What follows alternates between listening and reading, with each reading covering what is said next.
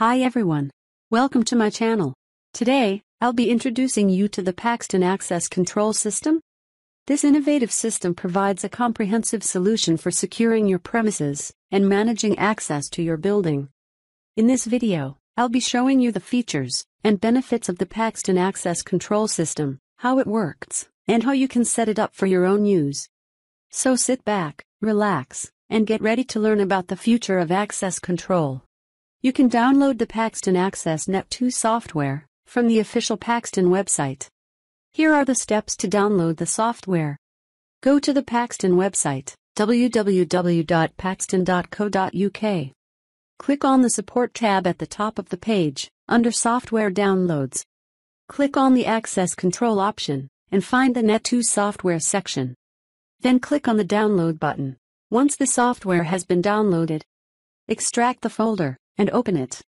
Inside, you will find another folder called Install. Open this folder and double-click on the Setup file to start the installation process. The Net2 Access Control Installation Setup wizard will appear. Select Net2 Lite and agree to the terms and conditions by checking the box. Then click the Install button.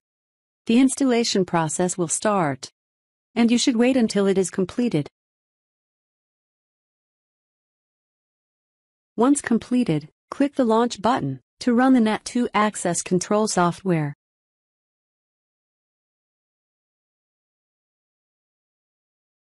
For the first-time login, the user needs to create their credentials by selecting the username as System Engineer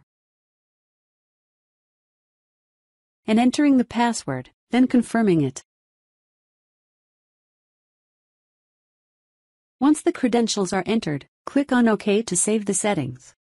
If all the settings are correct, the software will start running, as shown on my screen. I hope you understand how to download and install the Paxton Net2 version 6 access control software.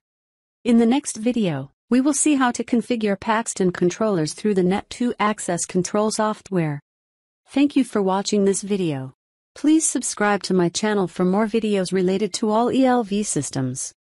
If you want to design and implement any ELV systems, please contact us. For instant technical support, please join our membership. And don't forget to like, share, and subscribe to my channel. See you in the next video.